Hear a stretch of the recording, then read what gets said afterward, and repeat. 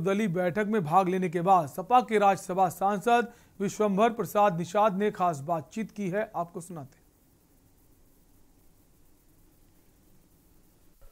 अफ़गानिस्तान को लेकर विदेश मंत्री एस जयशंकर की अगुवाई में सर्वदलीय बैठक हुई। क्या कुछ रहा? राज्यसभा सांसद सभा से है विशंबर प्रसाद निषाद हमारे साथ। सर आज की अगर बैठक की बात करें तो क्या कुछ रहा? केंद्र सरकार ने आज सर्वदलीय विदेश मंत्री जी के नेतृत्व में बुलाई थी, जिसमें विदेश मंत्री जी, पीयूष गोयल जी और पार्लियामेंट अफेयर्स जो है, जो मंच पे थे, ये लोग, तीनों लोग थे ऑल अपोजिशन पार्टी के लीडर थे। तो सभी लोगों ने, उन्हें विदेश सचिव ने अपना पूरा प्रेजेंटेशन रखा कि कैसे कैसे हम लोगों ने पंद्रह तारीख से देश के लोगों को निकाला, किसका इसमें आया क्या है तो सारी बातें उन्होंने बताने का काम किया। हम लोगों को मौका मिला तो हम लोगों ने अपनी बात रखी। सबसे पहले हम लोगों ने बधाई दी अपने वायुसेना के अधिकारियों को, अपने एयर इंडिया के अधिकारियों को, पायलटों को, जिन्होंने अपनी जान हथेली में लेकर के अफ़गानिस्तान के काबुल में अपना एयरक्राफ्ट उतार करके और लोगों को लाने का काम किया, उनको ने बधाई दी। और हमने यही अपील किया कि जो लोग अभी फंसे हुए हैं तो उनको निकालने की व्यवस्था होनी चाहिए।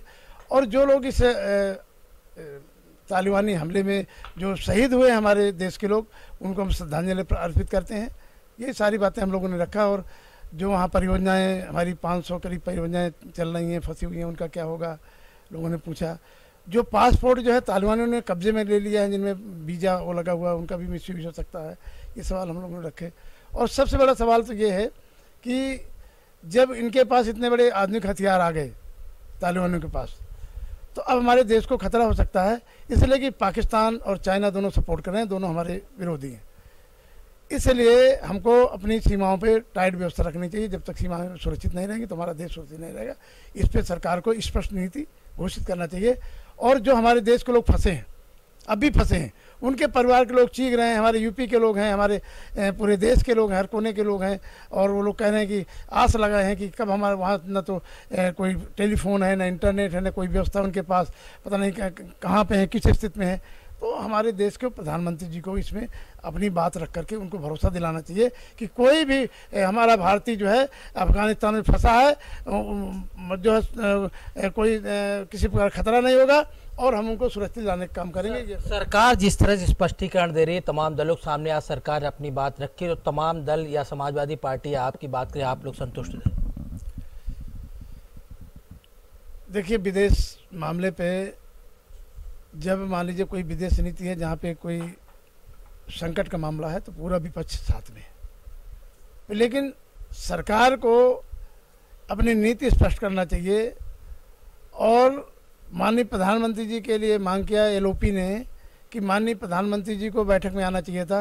पहले भी जितने विदेश के मामले हुए तो अटल बिहारी वाजपेयी जी ने सर्वदलीय मीटिंग लिया आल पार्टी मीटिंग लिया मनमोहन सिंह जी ने आल पार्टी मीटिंग लिया। तो यही सवाल विपक्ष के लोगों ने रखा और उन्होंने कहा कि ए, हम लोग सब साथ में हैं जो लोग फंसे हैं हमारे उनको वापस लाने का सरकार को इंतज़ाम करना चाहिए। अब स्थिति और अफ़गानिस्तान क्रिटिकल हो रही है क्योंकि इकतीस की जो डेडलाइन थी अब तालिबानियों ने भी अमेरिका की डेडलाइन दे दी इकतीस तक सेनाएँ वापस जाएँ। तो ऐसे में किस तरह की स्थिति आप देखते हैं कि सा, सारे लोगों को रेस्क्यू कर पाना? क्योंकि अब तो अफगानियों को भी ई वीज़ा की सुविधा जो है भारत सरकार ने दी है। अब इसके लिए सरकार, चूँकि ये मामला सुरक्षा से जुड़ा हुआ है,